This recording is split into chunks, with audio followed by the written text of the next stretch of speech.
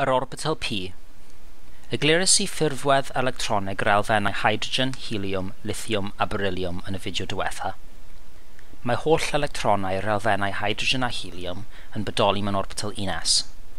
Mae'r trydydd electron yn yr elfen lithium a'r trydydd a'r pedwerydd yn yr elfen beryllium yn bodoli mewn orbital 2s, sydd yn fwy o faint na'r orbital 1s.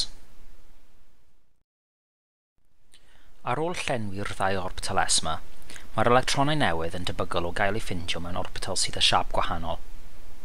Dyma ei siap o'i gymharu ag orbital S. Orbital P ydy ei enw e. Mae'n edrych tebyg i'r symbol ar gyfer anfeidraedd infinity. Mae yna tri orbital P, un am pob erchelen.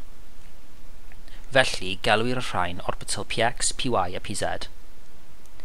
Gan fod yn bosib cael dau electron mewn un orbital, gallwch cael chwe electron yn y tri orbital yma. Oherwydd eu cymesuredd, mae gan yr orbitalau px, py, pz yr un egni.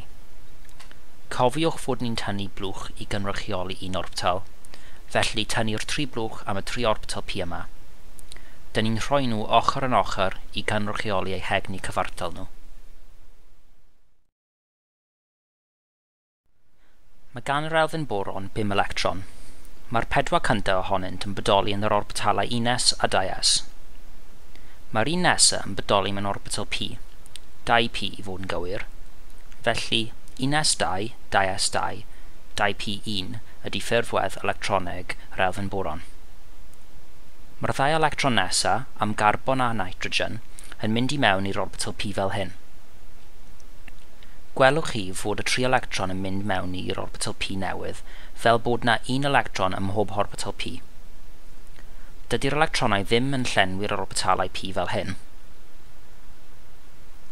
Am orbitalau sydd ar un egni, fel y px, py, pz, mae'n cymryd mwy o egni i bari electron na'i roi fe mewn orbital arall. Felly, mae un electron yn mynd mewn i bob orbital cyn pari. Am y tair elfen nesaf, ocsigen, fluorine a nion, mae'n rhaid eu helectronau paru. Dyma eu ffurfweddau electronig.